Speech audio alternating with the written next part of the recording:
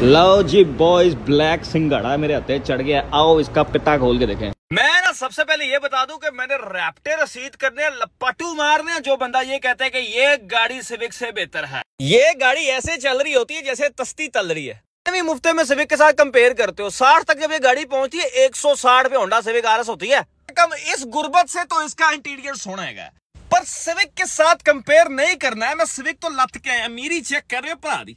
ज़्यादा से ज़्यादा इस गाड़ी के अंदर ये वायरलेस चार्जर दे दिया हुआ जिसको 500 दफ़ा फ़ोन रखते हैं, फिर जाके चार्ज होता है, तब तक द्रोगे वाला आ जाता है यार। ये बताओ कि ये सोनाटा वाले सिविक वालों के साथ ज़्यादा पंगा क्यों लेते हैं? ज़्यादा ना पैट है ना, किया करो कि हमारा जो कम्पेरिजन है, वो ई क्लास के साथ होता है टाट मारूँगा। होता ई क्लास के साथ तुम लोग का कंपेरिजन खंग जो है ना, वो तीन सोनाटा गिर जाएँगी। ठीक है यार मान लिया उस लानत ग्रैंडी से अच्छा इंटीरियर है गर्लफ्रेंड के साथ तुम डेट मारने जा रहे हो तो बड़ी वाइब क्रिएट होती है लेकिन गर्लफ्रेंड के साथ जाते हुए किसी सिविक आरस से पंगा नहीं लेते टर्बो स्पूल आ गया ना टांट मार के जाएगा।